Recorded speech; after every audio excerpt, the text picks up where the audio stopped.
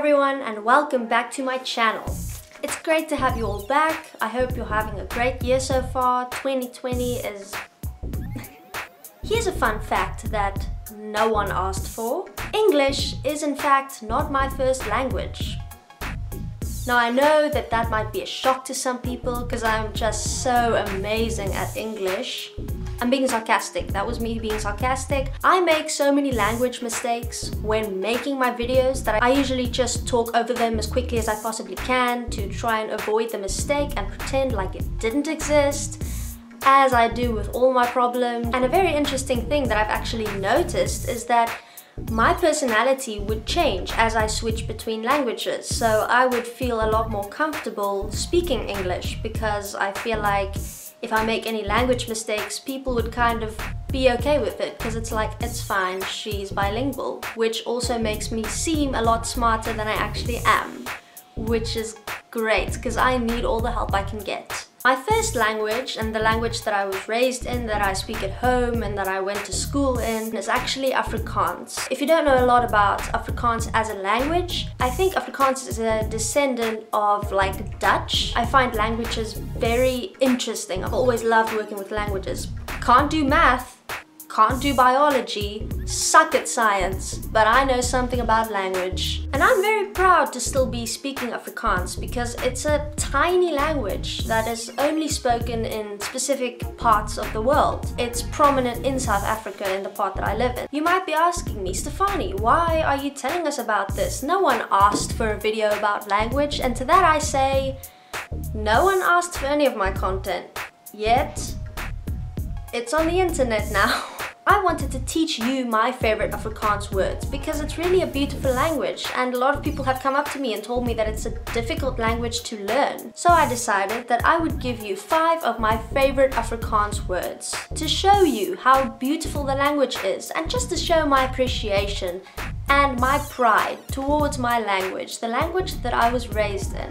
The first word that I want to teach you today is aanmekaar. It basically means constantly or all the time. But if you are saying that you are doing something aanmekaar, it means that you're doing it all the time. Also, just a side note, my pronunciation of these words might be completely different to other Afrikaans speaking people, but that's just because I was brought up in the Namakwaland, but it's a completely different region and I might have a different pronunciation of the words and that's a whole different video for another day. I think the reason I like this word so much is because it could be used in so many ways. It could even be used out of the context that I just explained. Aanmekaar! You could say aanmekaar. You could say aanmekaar. You could say aanmekaar. Just find this word so it just rolls off the tongue, you know what I'm saying? It's a good word. The second word that I want to teach you is a word that I've heard on the internet a lot. It's a word that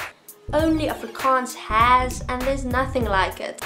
I've never heard a word quite like it that has the same meaning and the same weight as this word, babbelas. Babbelas, if you don't know what it is, is like when you have a hangover, but not quite. No, if, if it were the same thing, we would just say, oh, we have a hangover.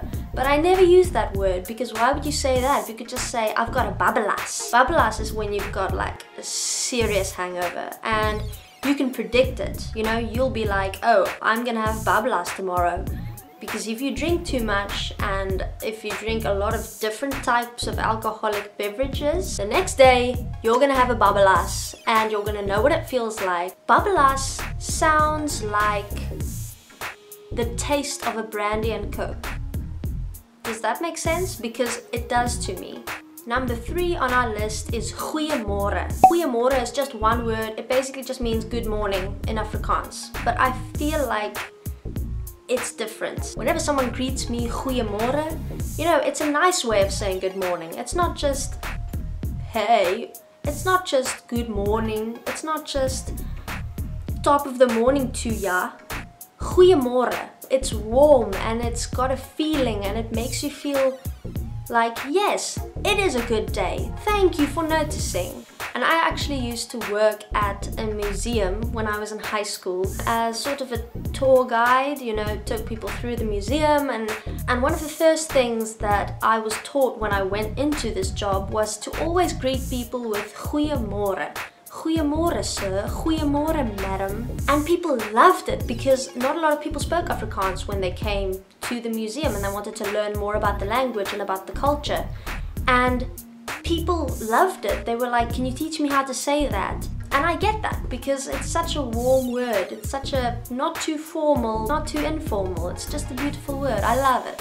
The next word on our list is bomelakiesie.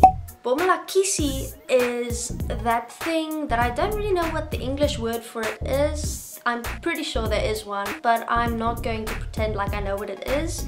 You know that thing that you do as a child where you roll forward, you know, arse over tits, I don't know, it, it helps kids with like some sort of coordination, which I didn't have because I was never able to do it. You know those things that you do when you talk...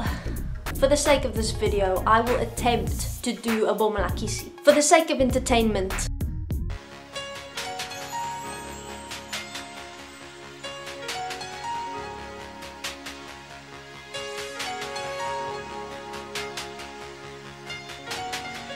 And this word I like because it's like, where did this come from? How did anyone think of this word? Because it doesn't mean anything. Even in Afrikaans, it means a tumble roll thing, those things that you do. There's no other way to interpret it. There's no source where the hell this word comes from. It explains the movement that you're making. You know, you're doing a bomelakiesie. It's, it makes sense to me. And then finally, one of my favorite Afrikaans words that I have to include in this video is boeretroos. It's one of my favorite words and it's basically just a description of coffee.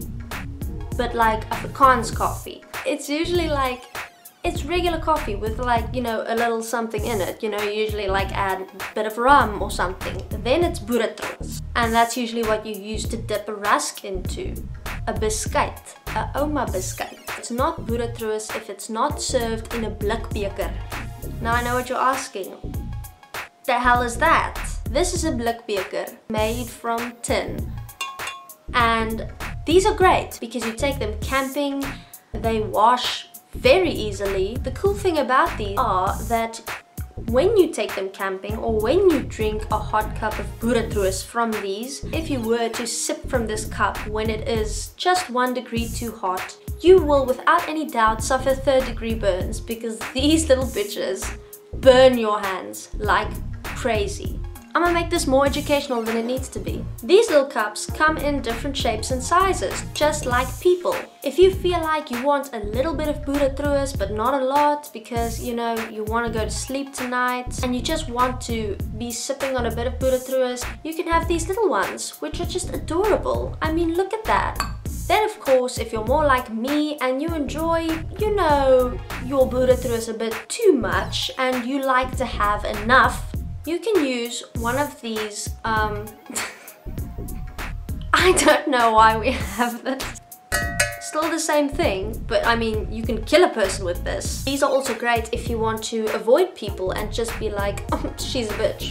These are also great if you're like out and about and you're drinking your boeretroos and your ex comes walking by and you want to avoid him. So you're like, oh. But those were five of my favorite Afrikaans words that I just think everyone should know because they're beautiful and I feel pride in the language that I speak. I really hope you enjoyed this video. If you did, don't forget to leave me a like and a comment and subscribe to the channel. Thank you so much for joining me in this video today. I really hope you enjoyed it and I hope you have a beautiful day ahead and I will see you in the next video. Totsiens!